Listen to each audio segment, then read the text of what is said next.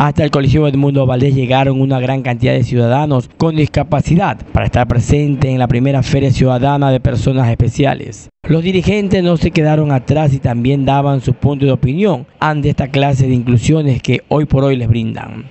El licenciado Héctor Solórzano, quien es presidente de ASODIS, tomó la palabra y agradeció por todo lo que se quiere brindar a favor de ellos. En una mañana de integración, donde están aquí los compañeros de diferentes asociaciones e instituciones públicas que están acá para relacionarnos e integrarnos con ellos, articular el trabajo para que en ese desarrollo social vayamos este, venciendo las barreras que poco a poco, gracias a Dios, se va venciendo.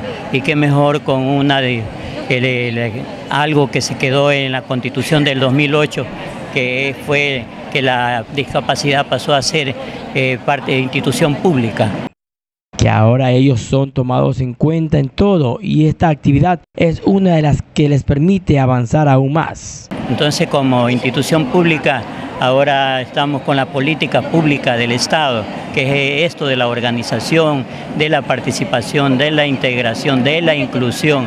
Realmente nos sentimos muy bien y este, este acto el día de hoy es la intención de integración con las autoridades, más el pueblo que vea lo que hacemos, lo que realizamos, pero que también sean parte, porque a veces ni la familia es parte, pero tenemos que que la familia se integre, los amigos, los vecinos, los compañeros en este en este proceso de desarrollo integral.